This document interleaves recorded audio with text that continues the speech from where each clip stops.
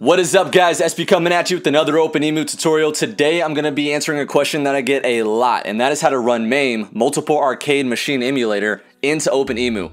First thing you gotta do is head on over to openemu.org, the link will be in the description.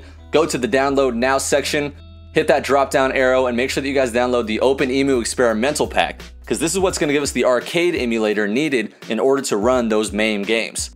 Those MAME games.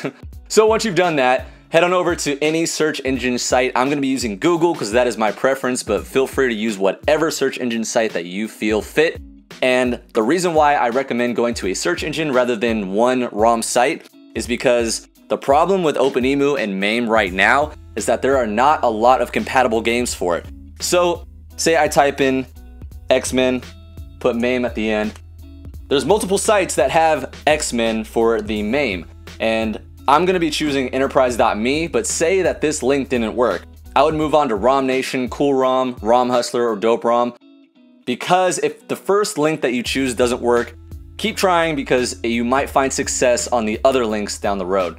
But I'm gonna be using the emuparadise.me link right here. I'm gonna scroll down to download links, click that download link, go to direct download and click on that.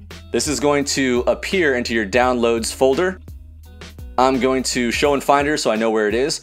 And the process of getting this folder into OpenEmu is very simple. What you want to do is right click and compress that folder. It's going to give you a zip folder, which is actually the format needed in order to run it on OpenEmu. So once you've done that, click on OpenEmu, launch that thing, and it's just a simple drag and drop. Once you've done that, I think, yeah, I have the album artwork. I'll make it look all pretty. There it is. We'll click on it. And there we go. It'll go through the process of verifying that this game does work.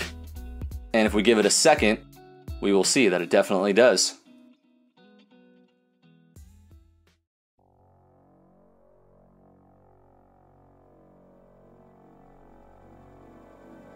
So as you can see, the launch screen is appearing in front of us right now.